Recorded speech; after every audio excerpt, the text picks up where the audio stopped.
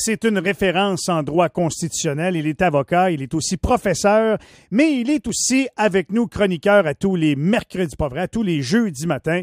Frédéric Bérard. Maître Bérard, comment allez-vous ce matin? Euh, Michel Langevin, content de vous parler, même si on est effectivement jeudi. Oui, effectivement. ben, J'ai eu peur quand même pendant une seconde. mais si on est mercredi, ça change ma game un peu aujourd'hui. Oui, puis c'est quoi? Ça, moi, je trouve que ça améliore les affaires de se tromper, penser qu'on est mercredi, mais quand on est vraiment jeudi. Que, oui, t'as raison. L'inverse aurait été plus problématique. deux, deux sujets ce matin. On a six minutes passées à travers. Hey boy! Ouais.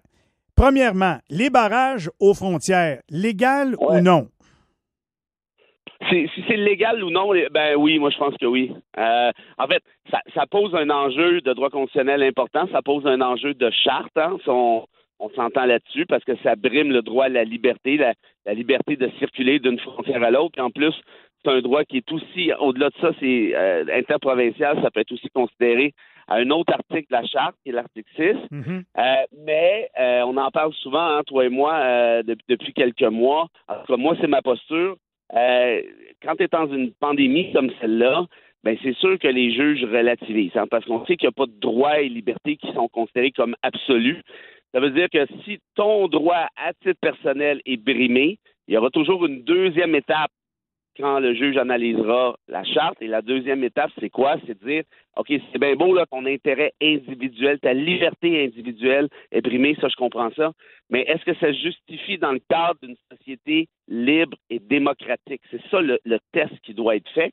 Et c'est quoi une société libre et démocratique comme le Canada? Mais ça dépend des, des, époques, ça dépend des périodes, ça dépend des contextes. Et une lutte à la pandémie, on pourrait penser qu'un tribunal dirait, ben là, je pense que les intérêts collectifs sont plus importants que les intérêts individuels ici, sinon on n'en viendra jamais à bout. Euh, et puis voilà. Alors, si quelqu'un se fait revirer au barrage routier par un policier, t'as pas de recours. Tu peux pas dire, moi j'invoque mes droits et libertés, là, j'ai le droit de ben, passer. En fait, ben, ta question est pertinente. En fait, oui, tu as un recours. Oui, tu peux l'invoquer. Le policier va dire, OK, je pense qu'on va pourquoi tu me parles, tu feras ce que tu veux euh, devant les tribunaux, puis on verra rendu là. Et là, ton job, c'est de dire, quand, par exemple, si tu refuses de payer l'amende ou autre, euh, ben, tu diras devant le, le, ou la juge, euh, écoutez, moi, je considère que ça prime mon droit à la liberté, ma liberté de circulation. Et là-dessus, je suis assez convaincu que, que théoriquement, du moins, euh, le tribunal te donnerait raison. Oui, c'est vrai que votre droit à la liberté est violé, Monsieur X. Oui, c'est vrai que votre liberté de circulation est violée, Madame Y.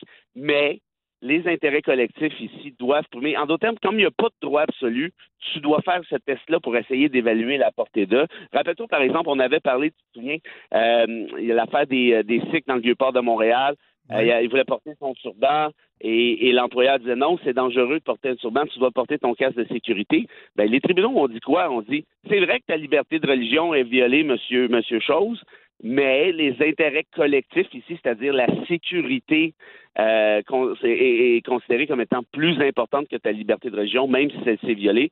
Donc, je t'ordonne, en fait, de porter le casque comme tel. Le message est clair.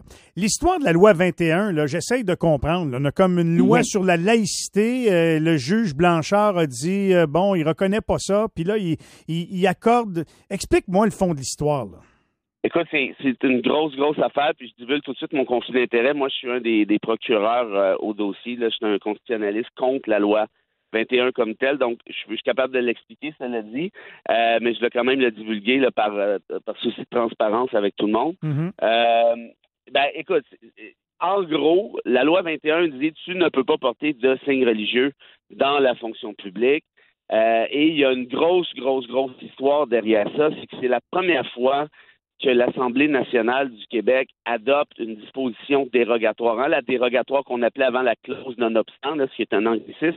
Là, ils l'ont adopté, la dérogatoire, mais, en commençant au début du processus pour empêcher le processus, pour empêcher justement cette espèce de processus judiciaire qui a quand même eu lieu. Et là, le juge Blanchard a rendu sa décision qui a été publiée euh, mardi matin et qui indique en fait que selon lui, hein, quand on le lit, la loi, c'est clair qu'elle n'est, elle n'est pas constitutionnelle, cette loi-là. Ça, c'est officiel. Elle brime la liberté de religion. Elle, il, la considère comme, brimant les droits des minorités, euh, de plusieurs minorités au Québec et ainsi de suite. Mais euh, il dit ben écoute, moi là, il y a une dérogatoire, je suis obligé de respecter ça. Si les tribunaux veulent les tribunaux supérieurs, par exemple la Cour d'appel, la Cour suprême, veulent revoir la manière dont on applique la dérogatoire au Canada, ben je les invite d'ailleurs à le faire, tant mieux s'ils le font. Euh, et puis pour le reste, pour l'instant, par contre, moi je suis pogné avec ça comme juge de la Cour supérieure. Je dois appliquer la dérogatoire, ce qui fait que la loi s'applique encore aujourd'hui comme telle, mm-hmm. sauf pour des volets qui ne sont pas assujettis à la dérogatoire. Tout ça est ultra technique, là, mais en gros, la dérogatoire, c'est quoi? On en a déjà parlé rapidement. C'est simplement de dire, ben, telle liberté ou tel droit, moi, le, moi, le législateur, moi, l'Assemblée nationale, je suspends ça, cette liberté-là, elle n'existera plus.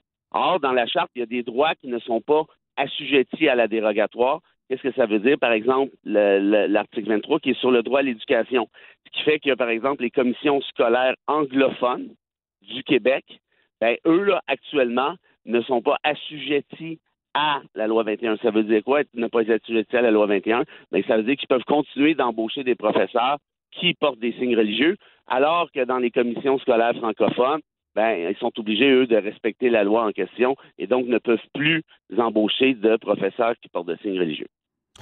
Je comprends que tu es partie prenante là-dedans, là, puis que toi, tu dois être content de ce qui s'est passé, évidemment. Euh, mais la suite des choses, ça risque d'être quoi, là? Puis il nous reste pas beaucoup de temps, Fred, là, mais. Ben, euh, ben écoute, rapidement, rapidement comme tel, c'est facile à dire parce que euh, le, gouvernement Legault, Simon Jolin Barrette, qui est ministre de la Justice, a annoncé qu'il portait la cause en appel.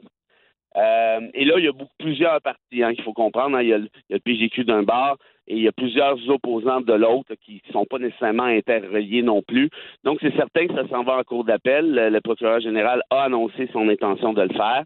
Et puis, euh, puis par la suite, ce qui arrive à ce moment-là en appel, Michel, c'est quand même c'est relativement euh, facile entre guillemets, c'est-à-dire que oh, les, les partis vont contester les parties de la décision qui ne font pas leur affaire essentiellement. Hmm. Et la Cour d'appel, ben, elle, elle révise la décision du juge Blanchard, dont tu parlais tout à l'heure, puis elle essaie de voir si, OK, ça, est-ce que c'est une bonne décision en droit, ça, est-ce que ça se tient, ça, est-ce que ça se tient moins? Elle rend sa décision par la suite. Et évidemment, ben, il y a toujours la possibilité, au final, euh, d'aller euh, peut-être en Cour suprême. Euh, et donc, c'est un processus qui, est enclenché, mais qui risque de prendre encore, je te dirais, facilement un an et demi, deux ans, sinon plus. Alors, actuellement, il y a comme deux lois au Québec sur la laïcité, celle pour les minorités puis celle pour le Québec.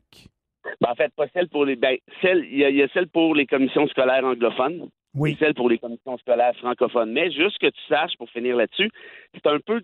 C'est déjà un peu le cas dans le sens où les commissions scolaires anglophones euh, ont, déjà certains, euh, comment je te dirais, certains droits distincts des commissions scolaires francophones. Et il ne faut pas oublier que c'est la même chose dans les autres provinces, mais de l'autre bord. Hein, si vous n'avez pas cette décision-là, évidemment, vous avez le droit, c'est tout à fait correct, mais la minorité francophone hors Québec, elle, elle, se base sur ce même article dont je te parle pour obtenir des droits contre le gouvernement de l'Ontario, le gouvernement de l'Alberta et ainsi de suite. Ça fait en sorte, par exemple, qu'on les a obligés, ces gouvernements-là, à construire des écoles primaires, secondaires et parfois même créer des commissions scolaires au final. Donc, c'est peut-être, on peut, on peut être en désaccord ici, mais je pense qu'il faut le voir dans une perspective quand même un peu plus large. C'est ça un droit de la minorité. Hein. Quand tu es la majorité, puis tu dis, moi, ce droit de la minorité-là, il fait pas mon affaire, tu as le droit de penser ça, c'est correct, mais, mais reste qu'à quelque part, on est toujours un peu la minorité de quelqu'un. Donc, il faut faire attention de ne pas tomber dans cette espèce de dynamique-là de manière un peu trop carrée. En tout cas, à mon avis. Merci beaucoup de nous l'avoir vulgarisé. Frédéric Bérard va dans la paix et on se retrouve sans faute la semaine prochaine. La paix et la neige. Alors. bye bye, Fred. Bye bye. Frédéric Bérard, avocat et droit euh, et professeur en droit constitutionnel. Vous avez compris, euh, puis je, trouve que c'est bien expliqué parce que des fois, ça peut être lourd et ça peut être complexe quand on commence à jouer dans ces dossiers-là. On s'arrête. Au retour, Françoise Goulet-Pelletier, la fille du, de l'ex-député ministre Benoît Pelletier, qui s'est battue pour sa vie au cours des derniers mois. Manquez pas ça.